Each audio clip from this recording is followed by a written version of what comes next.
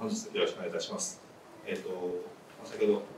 ご紹介いただきました、えー、Fusion 360の方に最適なパソコンをベンチマークで、えーまあ、結果からどういった本体が今一番いいんだよというところですね、えー、お話していければなと思います。じゃえっ、ー、と、まずはそうですね、中であの自作パソコンとかされたことある方って手を挙げていただそうしました、えっと、今回あのかなり基礎的なところから、えっと、ご説明させていただきますので、えっと、ゆっくりちょっとお話していく形になります。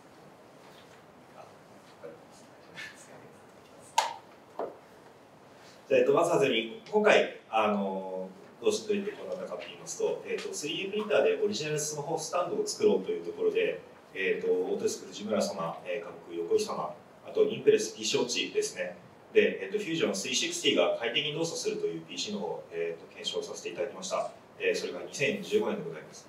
で、えー、藤村様のお話では今でもこういったお話が結構あるということなので、えーまあ、今回この場をお借りして、えー、今の最新のスペックでじゃあどうなのっていうところを改めてじゃあ検証させていただきましたというところになります。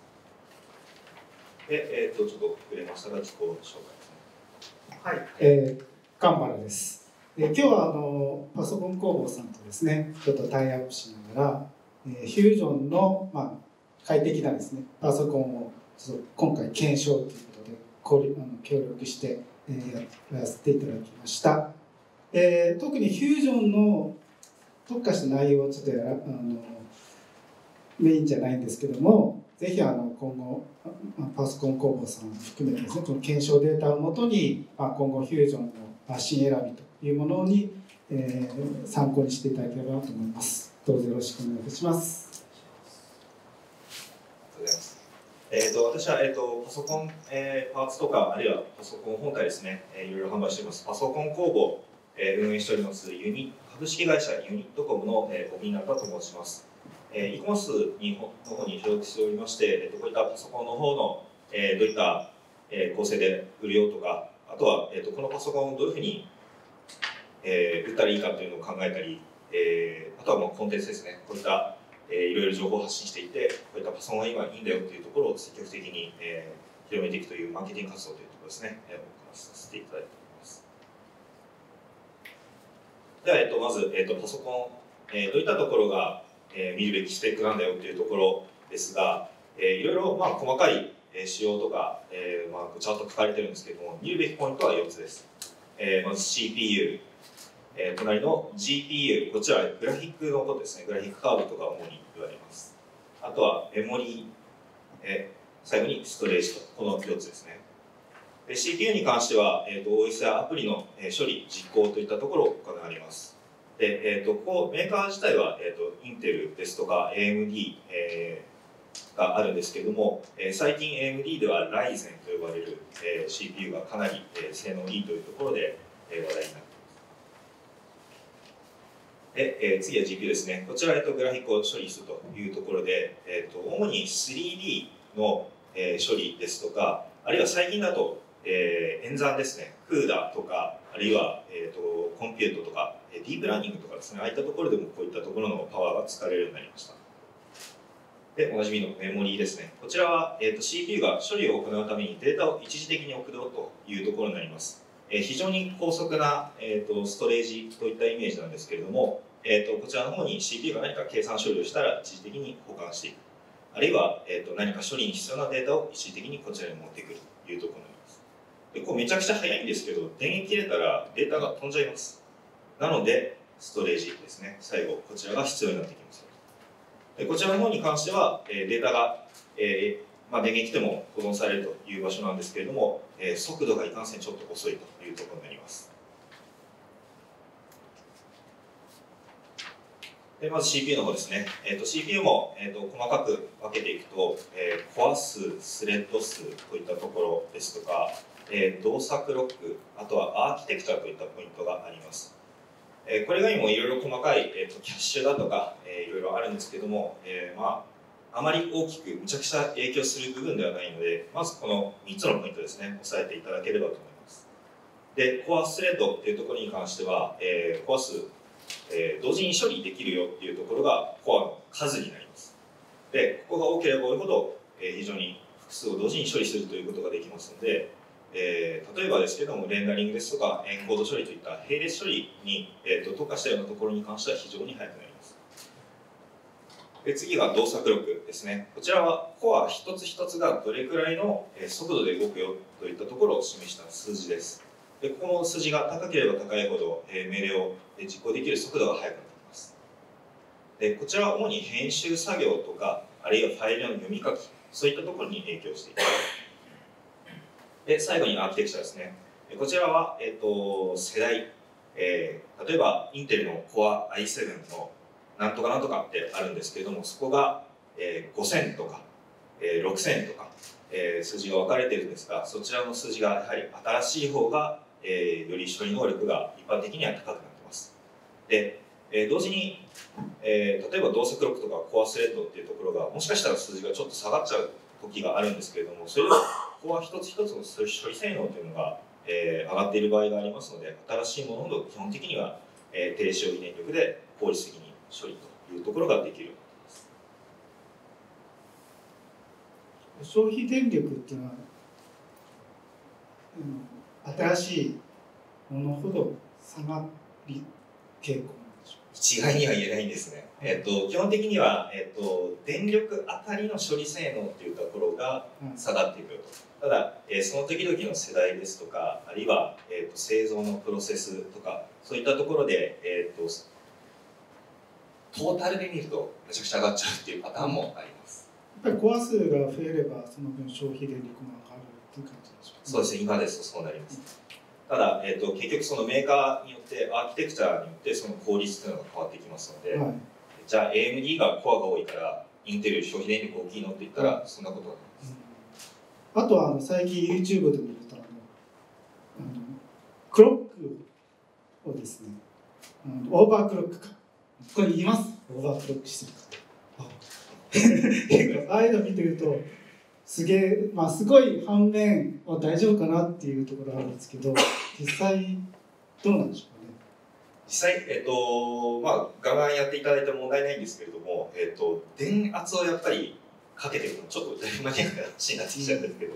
電圧をかけていくことで、えっ、ー、とまあ、どんどん発熱量が上がっていくとかあるいはその電気をかけたことで、えー、リーク電流が発生するとかいろんなまあ問題が発生していきます。うんで、えっと、結果寿命を縮めちゃうよってこともあるんですけど、まあ、しっかり冷やしておけば、えっと、基本的には動作します。ただやりすぎは良くないです。ということになりますはい。ありがとうございます。で続きまして、えっと、GPU ですね。グラフィックになります。GPU っていうのは初めて聞かれることあります。ないですね。はい大丈夫です。はいで、えっと、この CPU と同じで、えー、コア数というところですね、ここが多ければ多いほど、えー、グラフィックの処理や演算能力というところが上がってきます。で、えーまあ、NVIDIA、こちらも NVIDIA ですとか AMD と、えー、主に2社の、えー、GPU があるんですけれども、こういったところの、えー、GPU で言われる CUDA コアですとかコンピュートユニットというところがそうなります。で、GPU に関してはもうむちゃくちゃ並列処理を、えー、行っていきますので、えーコアの数が実はこれ3000とか4000とかあったりします。むちゃくちゃなもう並列処理をかけていくところですね。でこういったところが、えーと、3D の表示やレンダリング速度っていうところに関わってきます。で、GPU 大事なところがビデオメモリですね。えこちら、えーと、グラフィックカードそれぞれに専用のメモリというのを搭載しています。こちらメインメモリと異なりまして、グラフィックの処理だけに使でこちらの容量というところも結構重要で、えー、と 3D モデルが、えーと、たくさんあるよとかあるいは今 4K、8K といった高解像度になってるんですけれども、えー、そういったところのテクスチャーを放り込むとかそういったところの、えーえー、GPU のコアが処理するための、えー、他のストレージ保管場所になっています。で、えーまあ、こちらも同じアーキテクチャですね。えーと、こちらも何千万台という世代があるんですけれども、えーと、こちらがどんどん新しくなるとことで、えー、消費電力が下がったり、えー、さらに性能が上がったり、今ですと、えー、GForce の RTX シリーズ、リアルタイムレートレーシングが、えー、機能として追加されたりと、えー、なかなかこういった革新的なことがされています。あの RT と GT ってどこが違う？んです RT というのがそのままですね、えーと、リアルタイムレートレーシングのことを表していると言われているようです。GT に関しては、えっと、このコアの部分が無効化もしくはもうなくなっているというところで、えー、差別化されてるんですけれども、まあ、原則的に今一番上のグレードというのが RT シリーズになります。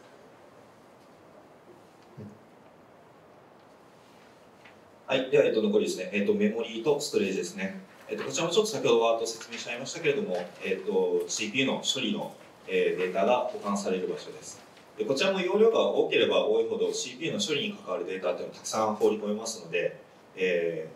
ーまあ、かなり処理が早くなるといったイメージはあるんですけれどもやっぱりこちら OS ですとかアプリといったところの限界もあって、えー、多すぎてもまあ余らせてしまうということがあります余った分これだ、えーまあ、それだけ消費電力常にメモリって電気流しちゃってる、えー、無駄に電力食ってるとかそういったことの原因にもなりますでストレージですねストレージはデータを保管させるというところになります。で、ここ最近ですけれども、えー、SSD と HDD、えー、といったストレージが新しくいろいろ種類が増えてるんですけれども、えー、SSD というのが、えー、メモリーですね。むちゃくちゃ速い USB メモリと思ってください。えー、そういったものが今、えーと、かなり人気なものになっています。で非常に速いんですけれども、えーと、容量単価といったところがハードディスクに比べて高い。これかなり今追いついてきてまして、え1テラで、え7、8000円ぐらいから変えてくるような、え製品というのも出てきています。SSD って寿命とかあるんですもちろんそうですね。その使える。はい、えっと、メモリの、えーと、構造上セルといったところに読み書きをするんですけれども、はい、えーと、こちらの、えー、書き込み書き換え制限、えー、というのが決まってまして、えこの制限が、えー、達してしまうとそのセルが使えなくなるというところがあります。ただえーと、長く使っていても、えーと、予備のセルの領域というのを持ってますので、えーまあ、そこがなくなったからといってすぐにデータが飛んじゃうとかそういったことは原則的にはありません。普通に使う分にはその辺はあまり気にしなくていいところですそうですね、うん、今今の SSD も大体そうですね。一生懸命書き込み読み込み普通にやっても、えー、1年2年っていうのはもうまず壊れないくらいの余裕を持って設計されてますので、うん、えー、まあ、すぐにいきなり壊れるよといったところは心配はない、まあ、S 今1テラとかもっと上もあるんですかね。やっぱ大きい方でいいんでしょうか。こちらも一概になってきます。えっと基本的に大きい方大体500ギガとか、はい、それにあと250とか、はい、大体標準でついてますけど、そうですね。今1テラぐらい欲しいところですけど、1テラ2テラっていうところに来てます。はい、で、えっ、ー、とこれはセル一個一個に、えー、データを複数書き込むと今ですと4つまでビット保存できるようになってるんですけれども、えー、そういったところで高容量が、えー、低価格化というところです。うん、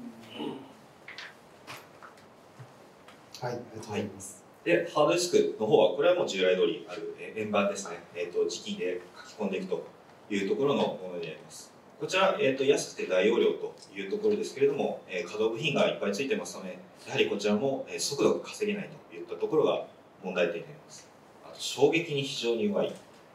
というところがありまして、えーまあ、ハウスを起こしただけで中の円盤にこう傷が思いっきりついてしまって、えー、使えなくなってしまうとそういったリスクもあります。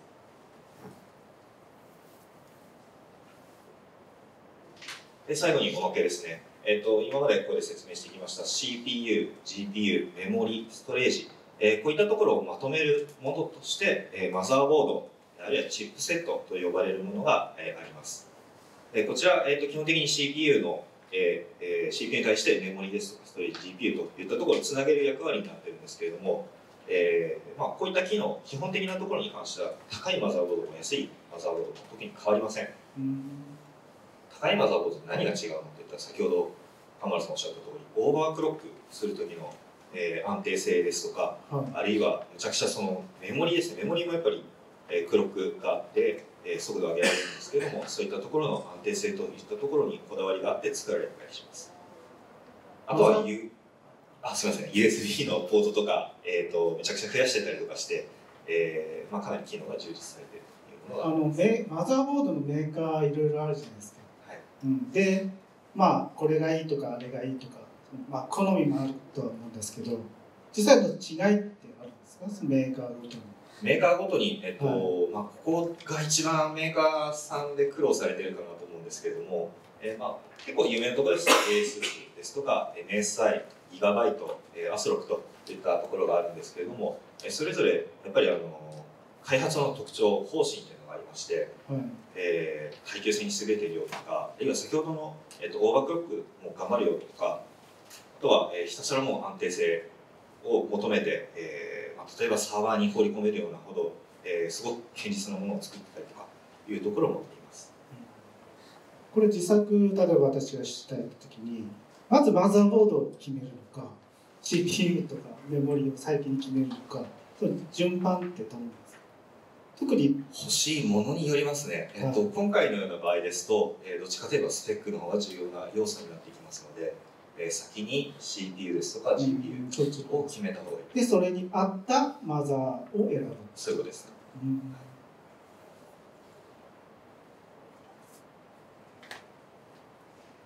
ここまでの、えー、まとめですけどもじゃあ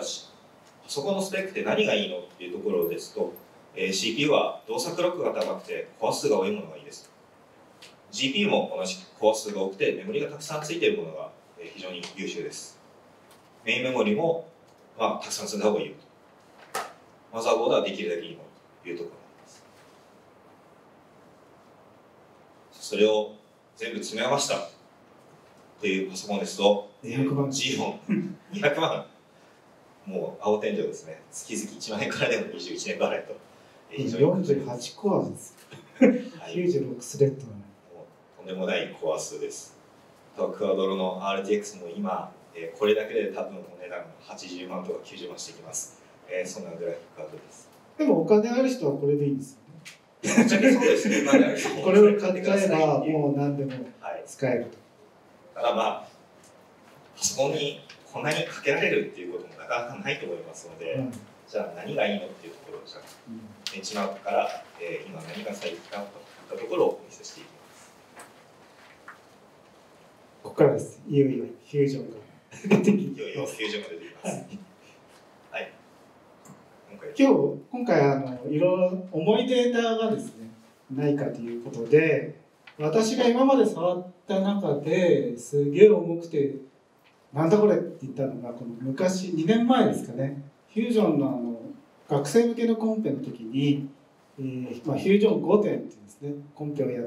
あのや公式コンペがあったんですけどもその中で応募した作品がですね、まあ、実際195作品が集まりましてでそれを、まあ、最終的に195なんですけど応募した順番にこの5点の中に1つの中にどんどん入れながらですねレンダリングをしてその5点がどんどんこうあの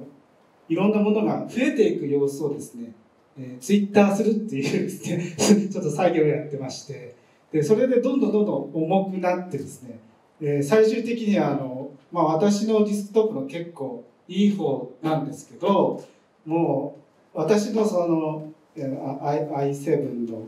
えー、ですねそうでも8系ですね i8 あああ i7 の8000番台ですね。でメモリーも32ギガなんですけどもそれでも遅い。すごいカクカク動くっていうですねデータが。それを今回あのこの今回進まれたハイスペックなパスあのディスクトップで、えー、の検証として使っていただきました。あともう一つはまあこんなでかいですね、まあ、データというのはあんまり普段普通はあのないと思うんので、まあ、一般的なですね、えー、モデルということでこれはあのラジコンカーですね。ラジコンカーの、まあ、駆動いろんな、まあ、タイヤが回るとか、まあ、エンジンそのラジコンの仕組みをですね、えー、のモデルを、まあ、551ボディですね。の形でのモデルを使ってそれのまあ比較ですね。一般的なモデルとすごい重いですね、まあ、7682でしたね。ボディ数の重いとの検証ということで、えー、やっていただきました、はい、実際これどういったデータかっていうところですが、うん、あ、うん、実際に、はい、これ実際のあの5点のモデルですね。これ実際あのこれコンポーネントでリンクした状態でもうこれ195あってでなんか弱いですよこれなんなんであのライゼンのあこれ違います。これあこれは何でしょうインテルのコア i9 の i9 の方ですね。はい、ちょっと遅いやつですね。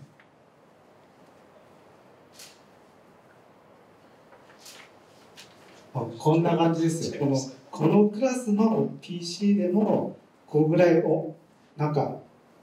あったですねこれ実際こう拡大するとですねなんかいっぱいあるんですよね。こういっぱいあるんですけど。はい。こういうデータとあともう一つ、まあ、ラジコこっちは軽いですね。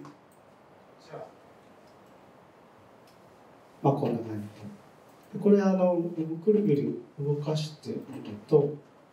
まあ、こっちは、まあ、上にあの FP F FPS ですね。大体右上に出てますね、はい、大体今60前後ぐらいで動いてますとはいっても今これ裏で5点っていうのはめちゃくちゃ重いの開きながらでもこれだけ動いてるのでかなりハイスペックなマシンというと5点の方動かしてみますあ今これ止まってからですね。途中で止まってますこれと途中で止まれないです。止めれないです。すいませんでも確かこっちやった時はにあ今これ動かしなくても出るんですね。そうですね。20フレームぐらいです。25か。フレームぐらい。で今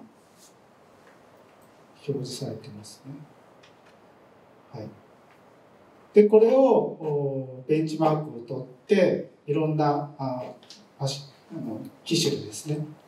えー、検証したという内容になります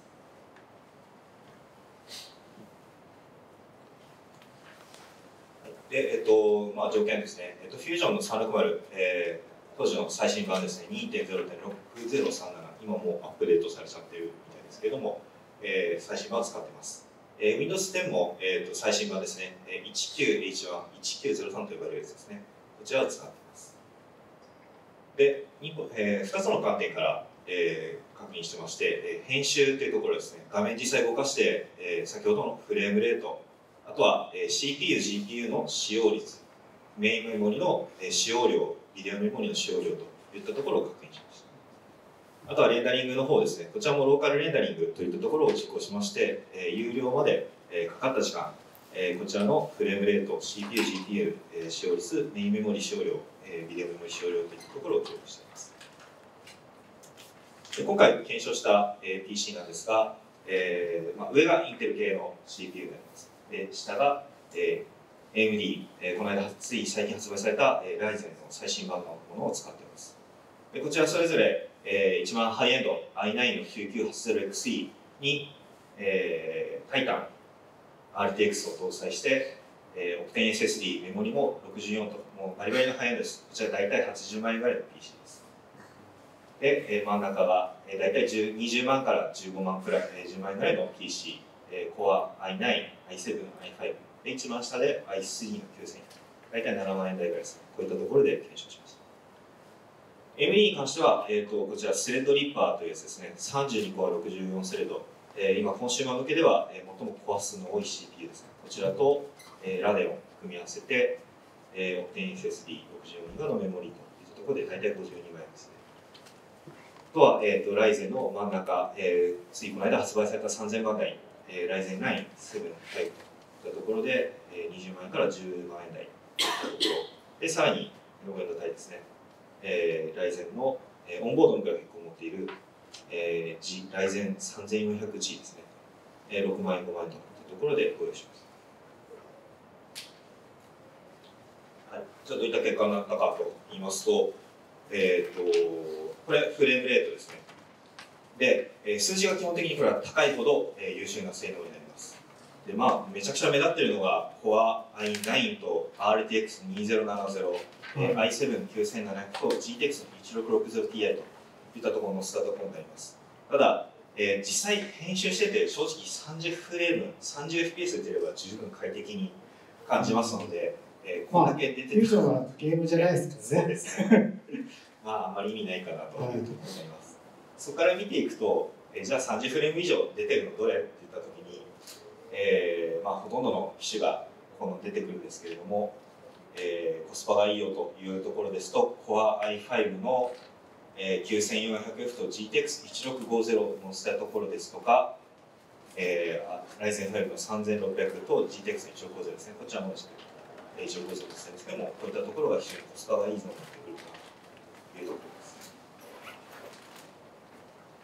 で、えーと、そういったところに対してじゃあ今度一番ハイエンド80万円とか、えー、50万円とかいう本体どうなのって言ったら実際そうでもなかったりします。そうです。これなんでどういう要因があるんですか？これは、えーと、やっぱりハイエンドの CPU とかになりますと本数が多くなった関係で、はい、動作力がどうしても下がっちゃうんですでそういった関係もありまして、えーと、はい、まあ、トップスピードに関しては少なくとも、えー、もうちょっと下のグレードに負けてしまうと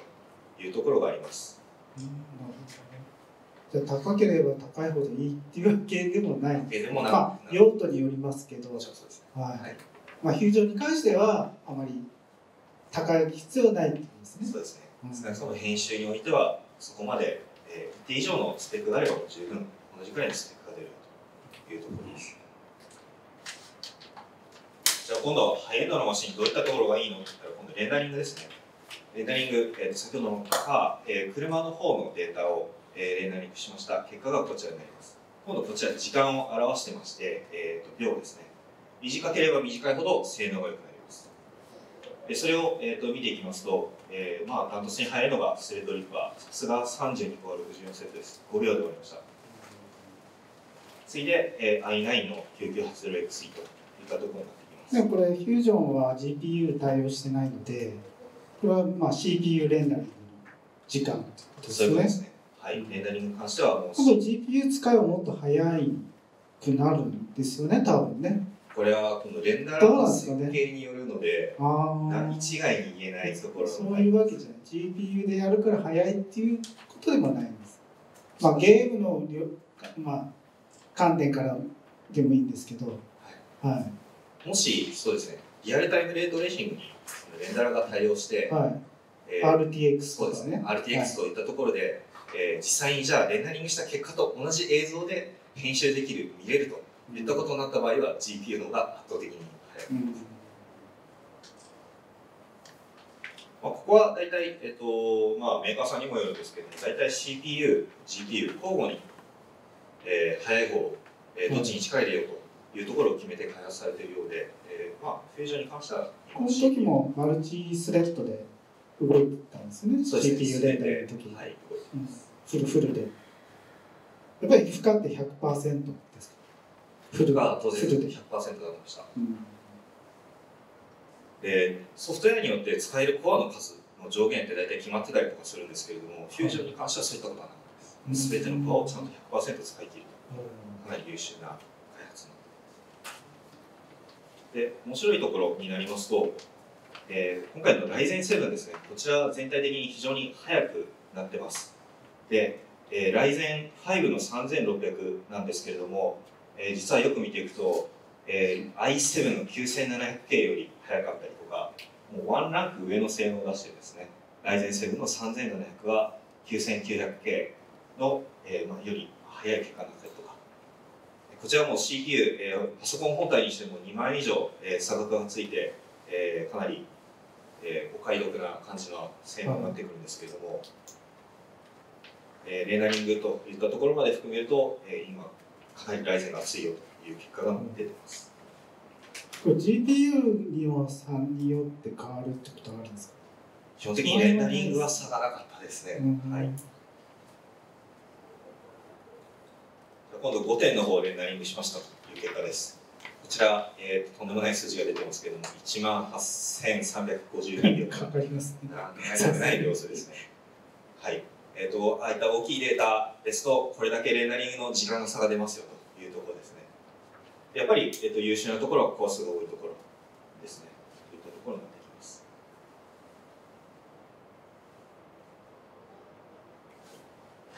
で、えー、フュージョン360の動きですね、編集しているときに、えーと、ベンチマークを行って、えーまあ、分かったことがいくつかありまして、えー、データを読み込んでいるときに、えー、メインメモリーにデータがまず展開されました。で、溢れた分はストレージに確認されますという流れになります。これ、えーと、2015年の時に検証した時は、えー、読み込んだ時に実はビデオメモリーの方に読み込まれてましたが、えー、そういったところの挙動がどうも変わったようで、えー、まずメインメモリーにガンが入っているというところです。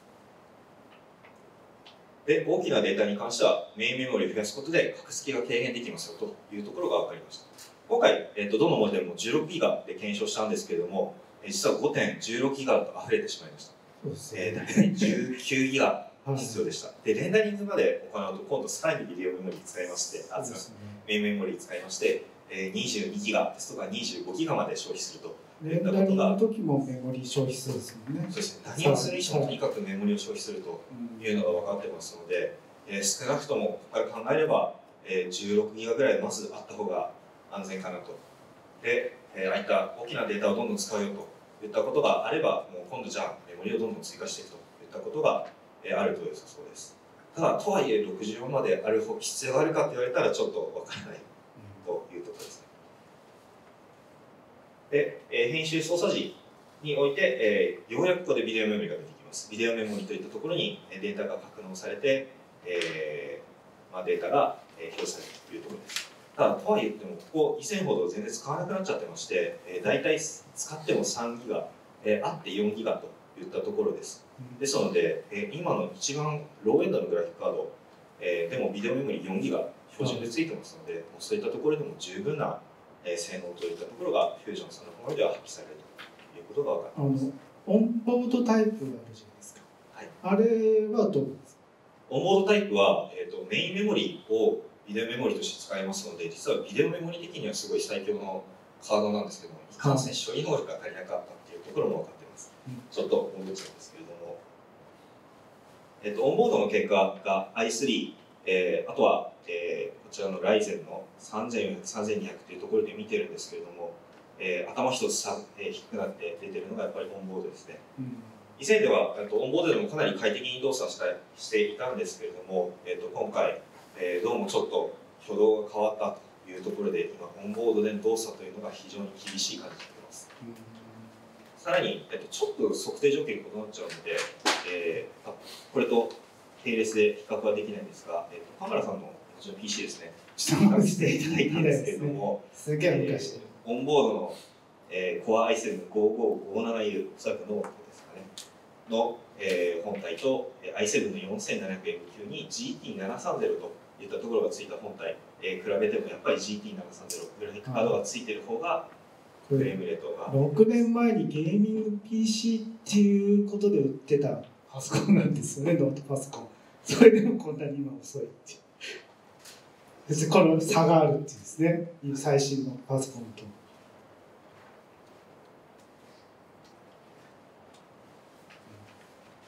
で、えー、データ読み込み時は、えーと、基本的に CPU はシングルコア処理しているというところが分かりました。まあ、ここはネットワークというところも絡みますので、えーまあ、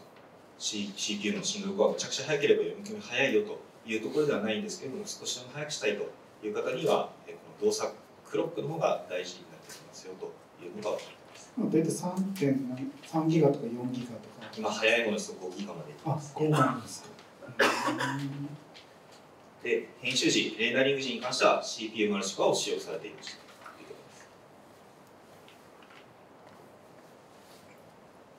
で、えー、データの保存につきましては、えーと、保存ボタンを押したときにローカルキャッシュファイルの書き込みと、え、クラウドの同期のアップロード同時に始まります。ですので、え、ネットワークに関してもやっぱり早い方がいいよ。ここはあのパソコンの性能じゃなくてですね、えー、まあフュージョンは当然クラご存知のクラウドで動いています。でデータはすべてクラウドにアップロードもしくはクラウドからダウンロードされてえー、動きますので何か編集してあもう保存しますってボタンを押したタイミングで一応キャッシュに、まあ、本体を保存した後にクラウドと同期が走るんですねでその時に、まあ、オフラインであればもあの特に違和感はないんですけどオンラインの場合は当然ネットワークのアップロードが裏で走りますから若干重く感じます。はい、でましてやあのこういう有線じゃなくてですね細い回線例えばあの、えー、モバイル。モバイルでつないで使ってるとか。いうなるともうすごいあの時間がかかって重くなるっていう。ちょっとその辺があまあクラウドクラウドがゆえにですねちょっとうんっていうところがありますね。はい、あとフュージョンってあの5分ごとにリカバリーファイルを作ってるんですね。知っています？知らない方います、うん、あはい。あの標準でですねあの時間は設定が変更できるんですけどもデフォルトだと5分間隔で今編集中の状態のモデルを、まあ、バックアップですね。リカバリーできるようにバックアップしてます。ですので例えばなんかハングアップをしたり、まあ、電源急に切ったりするとその直近のバックアップまではあの保存してますのでですので起動その後、まああのフュージョンを立ち上げるとリカバリーしますか？ってですねこうポップアップの画面が出てきてそこでリカバリーしますよっていうとその直近のところのモデルが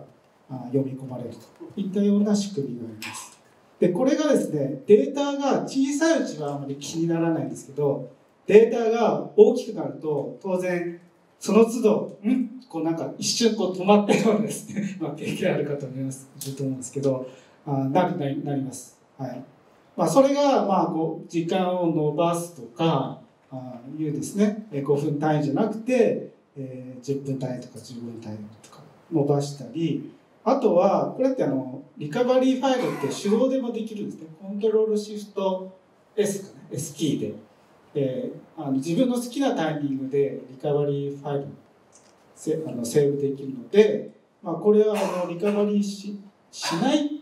はできないんですよね。必ず時間を60分だとか最大設定できるんですけど例えば60分にしてあとは自分でコントロールシフトの S でタイミングでこ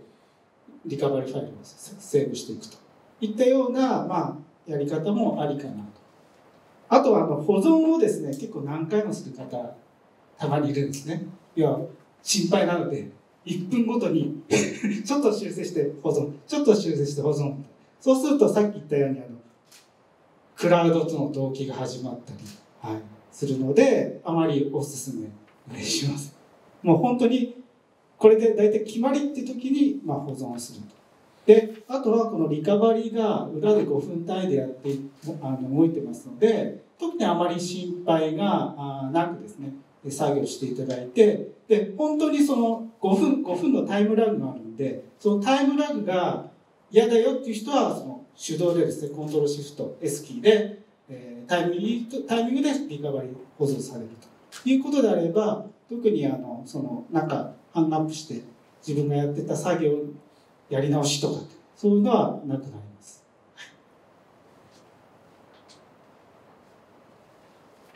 はい、じゃあ、えーと、ここまでのまとめですね。えー、フューチャー300割にじゃあどういったスペックが最適かというところのまとめになります。え CPU に関しては Core i5 以上、え AMD の Ryzen ですと Ryzen5 以上といったところがおすすめになります。今ですとここが一番コスパがいい CPU ですね。でグラフィックカードに関してもミドルクラスでビデオメモリは 4GB あるものですね、えー、ミドルクラスといいますと、えー、GForce の GTX1650 ですとか、えー、GTX の1660と呼ばれるあたりのゾーンになります。まあ、大体4ギガぐらいついてます、ね、そうですね、どれも今4ギガから6ギガまでついてますので、逆にちょっと余っちゃうぐらいの性能になっちゃいます。ただ、載せないというよりは、何か載せた方が安全よかったです。はい、まあ、フュージョンだけで使うというのはあんまりないかもしれない。まあ、その他のソフトでそれが必要であれば、それに合わせるって感じですね。はい。で、メインメモリは、えー、16ギガ、えー、ですね。今8ギガ以上大体積んでますので、でね、えー、一旦そこから始めていただいてもし足りなければすぐに16にフュージョンをこれから勉強したいとかちょっとなんかあのセミナーでやる程度のですねモデリングをするということであれば8ギガでも十分だと思うんですけどやっぱりがっつりなんか作ろうと。もしくはこの中であのスカルプトをやられてる方います。はいはい、スカルプトって結構メモリ食うんですよね。うん、8ギガじゃ足りないぐらいです。はいまあ、そういったスカルプトをやられるんであれば、16ギガは最低あった方がいいです。あと、メッシュやられるかです。メッシュデータを、はい、取り込んだりあのメッシュもポリゴンって言ってあの人頂点がこういっぱいあると思うんですけどその頂点数に応じてメモリどんどん取られますので、はい、その辺もあのスカルプトとかメッシュをやられる方は、まあ、16ギガあった方がいいですね。はい、で、えー、最後のストレージこちらは SSD がやっぱり断然おすすめです。OS の起動ですとか Fusion 360の起動というところも、えーと、大事なんですけども先ほどのストレージに保存というところもやっぱりある程度は影響していきますので、えー、SSD といったところで、えー、搭載というのはありますこれはあのうちもノートパソコンまだ SSD じゃないですけど昔は結構サクサク動いてた最近すごい重いですよね。でなんで重いのかなというと裏であの Windows アップデートがですね頻繁に走ってるっていう。それもディスクが100%アクセスですね。結構そういう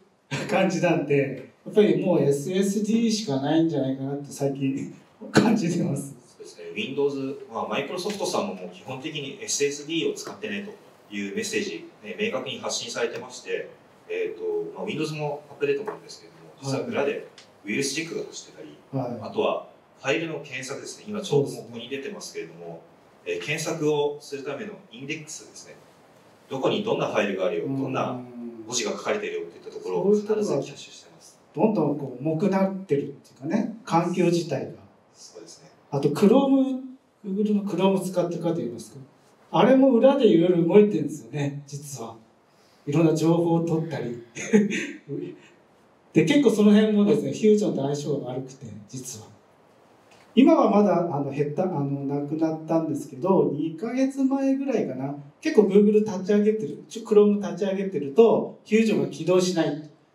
でなんでかなと思うと当然あのタスクマネージャー見るとディスク100%になってるんですよ。じゃあ何が100%して動いてるのか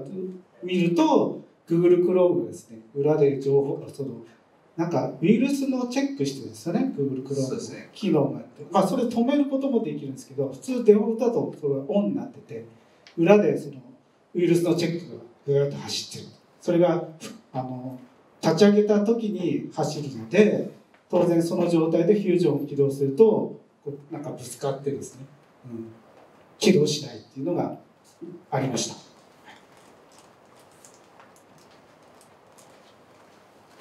で、えっと、GPU のところに絡むんですが、えっと、今、クワドロといった、えっとまあ、CAD 向けの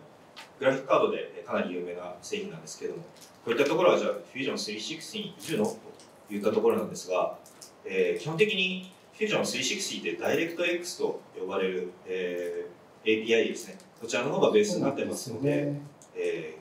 特になければ GForce の方が今も圧倒的にコスパがいいよと。だって CAD やってる人ってクワドロクワドロって言いますよね。そうですね。フュージョン360じゃダメだって言うんですけど、はい、まあフュージョンはこのクワドロ対応してないっていうわけじゃなくて別にそこまでいらないっていうことですよね。そうですね。クワドロ何がいいのかって言ったら、えっとまあ、オープン JL って書いてますけど、まあ、今あんまり関係ないです。えー、NVIDIA が実際もう公式で製造設計してるとか全世界共通しようとか、まあ、そういった関係で非常に不具合対応が早かったりとかあとは長期供給だったりといったところで、えー、もうとにかく、えー、安全安心といったところに、えー、めちゃくちゃ力入れた製品になってます、ですので、えーと、例えば GForce の一番上のグレード、えー、GForce の今ですと RTX の 2080Ti と呼ばれるものがあるんですが、えーと、こちらと同グレードとなると、えー、クアドロの RTX、えー、先ほどの8000ですね。といったところになったりとかで価格がもう軽く3倍以上変わってくる、同じ性能で見た時はクアドロがやっぱり高いっていうことです同じ性能で見た時は性能変わらないんですただ値段があそうです、ね、値段が高い。高くなっちゃいます。ものすごく高いです。じゃあ安い方がいいってことですよね。そうですね。同じ性能であれば。他の CAD とか使わなければもう自己責任という結論です。で、えーまあ、ここはちょっと宣伝になっちゃいますが、えーと、じゃあ、えーと、いいどれがいいのっていったところでエントリーモデルとして、えーと、今販売してるんですけれども、えー、Core i3 とか Core i5 といったところの本体、えー、9万円ぐらい、えー、6万から、えー、10万円といったところでご用意しています。ちょっと今回検証しましたあの最新の構成ですね、えーと、i5 の9400、えー、Ryzen 5の3600搭載したところ、ちょっと今回間に合わなくてですね、ちょっと近日発売というところで、えー、パソコン工房のサイトで発売をいます。で、今回お勧めしたいところが、えーと、コストパフォーマンスモデルですね。えー、つい最近発売された Ryzen の、えー、73700X と、えー、メインメモリー16搭載、えー、GForce の RTX 2060搭載といったところです。こちらが、えー、17万4980円、えーと、からというところになりますが、えーと、この値段で実はこの右下あの、えー、Core i9-9900K、はい、えー、20万円ぐらいのパソコンより性能が上です。ライゼン出る前にこっちの方が人気だったんですね、やっぱり、えーと、インテルが人気でした。はいまあ、今でもインテルの方が実は売れてるんですけど。で、えっと、今回あのおそらくこの後モデリングバトルがあるかと思うんですけども、えー、こちらの左上のマシンの方で4台出させていただいてますので、えー、非常にスルスル動いているといったところを見ていただければと思います。最後にハイエンドモデルですね、えー、セレドリッパーの2990、えー、もう一番上の CPU を搭載している、えー、2機種になります。あ値段間違えた。8個50万です。えっ、ー、とはい。50万以上のハイエンドモデルになります。だからここはやっぱりレーダーにゴリゴリやるよとかあとは、えー、シミュレーションですね、はい。えー、いっぱいやるよといった時にやっぱりコア数すごく生きてきますのでこういったマシンもそういった方向もやるよといったことであれば、えー、こういったマシンもご検討ください。じゃあ、えっ、ー、と、えー、に関しては以上になります。ご清聴ありがとうございます。ここであのちょっと QA の時間を取りまして、まあ、実際あの、まあ、自作される方もしくは今後自作しようとしている方もしくは今使ってるパソコンをもうちょっとどなんとかなんないのかなっていうようなこととかですねいろんなことまあご質問あればご自由にあの挙手をしていただきたいんですけどもはい。あのビデオカードで、まあ、A えー、ラディオンだったらクロックファイルとか、まあ、GFOS だったら SLI とかそういった恩恵っていうのは受けられる正直今回検証した中ではなかったです。はい。うん、もう、えーと、GTX の16501個と、えー、GForce の 2080Ti1 個で比べてもほとんど変わらなかったっていう結果になっているので、えー、正直そこまで、えー、グラフィックカードにお金をかけるといったところは、えー、フュージョン36に関しては無駄になってしまう。とにかく電気区だけの存在になってしまう。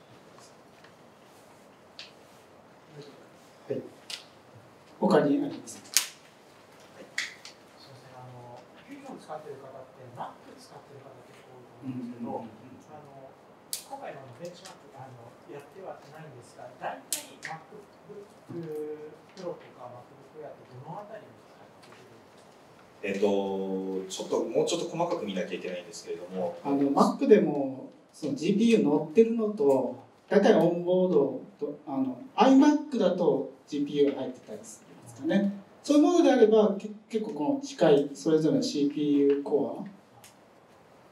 に、まあ、i7 とか i5 ですかね、うん、まあ今今年あの Mac Pro ってすげえやつが 出ると出るですみたいですけど。大体 CPU がその上等なところぐらいの性能があるそうですね、えーと、大体 Mac のですね今インテルがついてるんですけども、えー、アップルさんのサイトに多分コアの数と動作力が出てるので、えー、そこから大体似たようなところの CPU、えー、動作力のものといったところと比較できると思います。やっぱりオンボードよりは外付けのタイプ、まあ、あまり少ないですけど結構高い、まあ、シリモデルじゃないと多分外付けの GPU でない。レディオンかなマークラディオンですね、うん、そういうものをまあ選べば間違いないですね、はい、オンボードだとちょっと弱いかなって感じます。ただあのラデオンも、えーと、実はフュージョン360ちょっと苦手みたいで、うん、えー、GForce に比べればちょっと性能が下がっちゃってる印象はあります。はい。他にえございます。後ろ大丈夫ですじゃあ時間があと10分あります。はい、でちょっとネタ準備し資料もこれあのついてますので、まあ後で帰ってみていただければいいと思うんですけどもフュージョン使ってて重くなる原因ってあるんですね。あ、すみません、私はエキスパートエリートやってます。です。さっきちょっと挨拶なんか抜けたような気がするんですけど、はい、いつもフュージョン触って、あとツイッターで、あの、自由気ままに一曲のネタ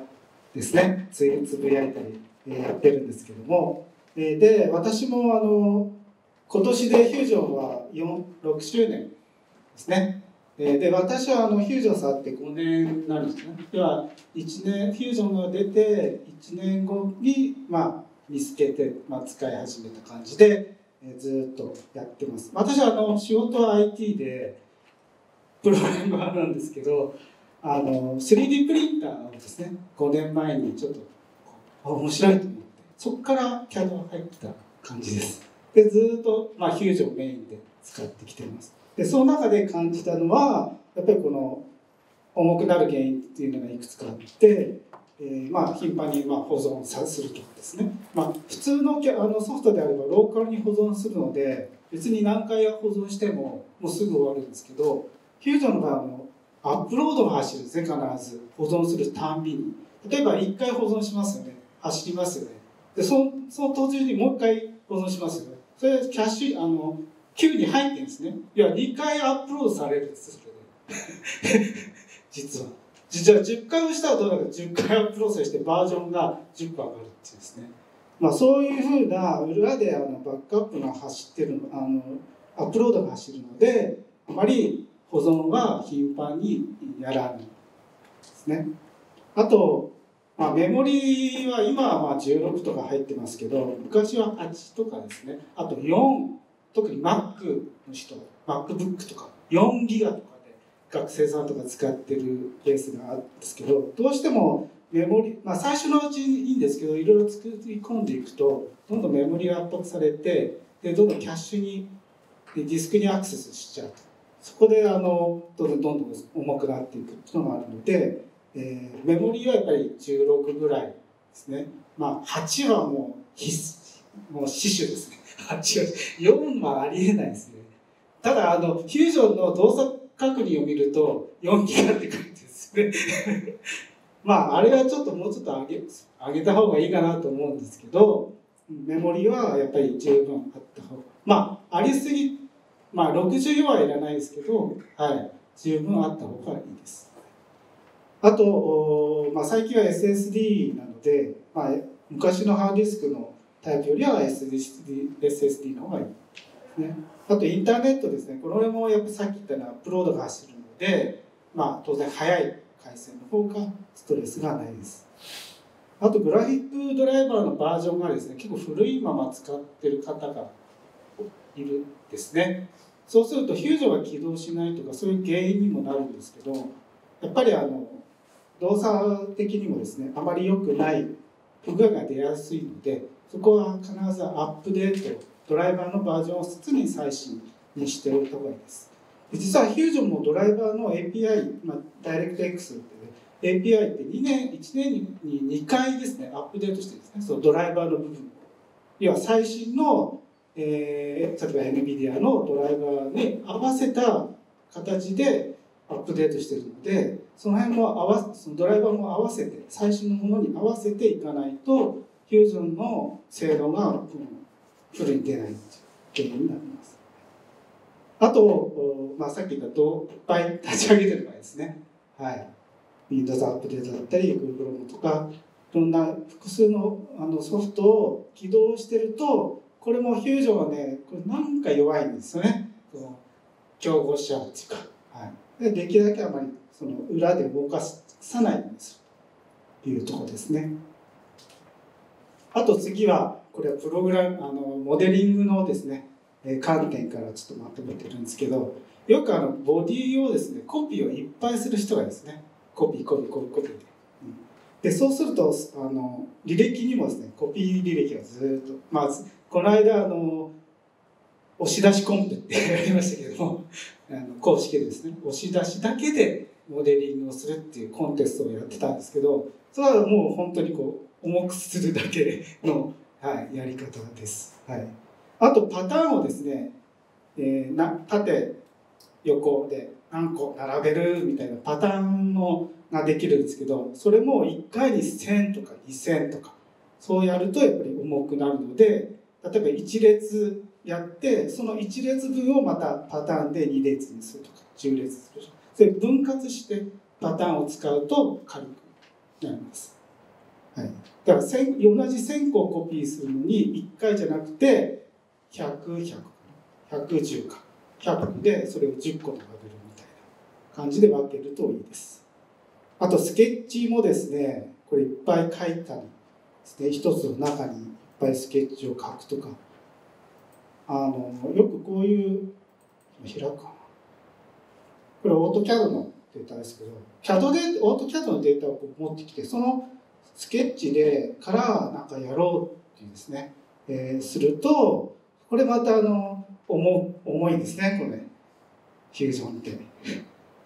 でなぜ重いかというとその一つ一つのスケッチのこのプロファイルって要は閉じてるか閉じてないかっていうのをこう計算してるんですね。はい、でその処理がそのスケッチのこの 線分の数分ですね実際には処理動いてます。はい、で今読み込みだけでもちょっとこれ結構重いんですけどでそれをですね早くする方法が1個あって表表示ですね。あくまで表示を早くするっていう方法がありましてでそれはですねどこをやるかというと今これオレンジ色になってますね。これがあのプロファイルがここあの閉じてますよっていうところがオレンジ色になるんですけどもよいしょ？あ開かない。古典が多すぎるんですか。ねああそうですね。古典閉じ閉じますかね。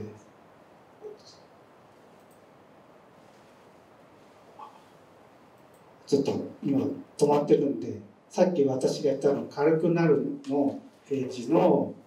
えー、これですね。プロファイル表示を非表示にすることができます。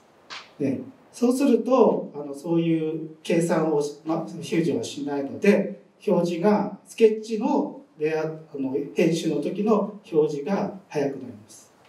はい、よくあの CAD のあのオート CAD とか2次元の図面を展開した時って結構これ遅いってみんな言うんで そういう時はえっ、ー、とですねスケッチのよいしょ。どこでもいいですけど。ね時間もかなり押してますけど。ここにですねプロファイルを表示ってこうチェックボックスがますこれを外していただくとあのオレンジ色に今消えましたね、うん、これで随分変わります。はい、これでサクサク編集があの編集ができるようになります。で、えー、あとポイント。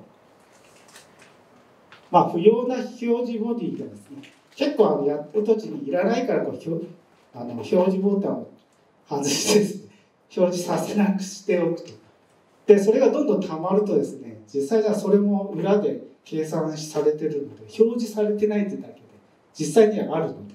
うん、その辺のあのできれば、まあえー、削除とかあと構成で、えー、なくしとった方がいいですね。あとタイムラインに黄色い警告がたくさん出てる人の方よく見るんですけど作り方その線形的な作り方要は押し出してそこからスケッチしてまた押し出してみたいなことをどんどんこう連続的なこうつながりで作っていくとどうしても前のやつにこうななんか変わった時にそこで破綻しちゃうんです。えー、なのでできるだけ例えばあのスケッチを書いて押し出してそこにその押し出した面にスケッチをするんじゃなくてオフセットの作業平面を作ってそこから押し出した時ってあくまでもスケッチとスケッチから押し出したって処理なので、並列に動くですね、処理されですね。でも、押し出しの上のスケッチの押し出しってやると、この順番に処理されるので、それが多ければ多いほど、その分処理が重くなるのがあるので、その辺の作り方もですね、あと、ポイントがあります。あと、結合、えー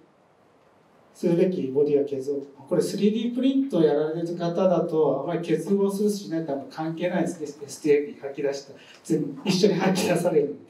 まあ、その辺もできるだけ結合した方が軽くなりますねあとメッシュがいっぱいあるとかですねまあこの辺もですねあの資料の方にもあのちょっとまとめてありますので、えー、またあのえー、配布された時にちょっとポイントとして復習でですね見ていただきたいと思います。はい、では、えーと、時間になりましたので、えーと、プラス7のご質問に関しては以上になります。えー、ありがとうございました。ありがとうございました。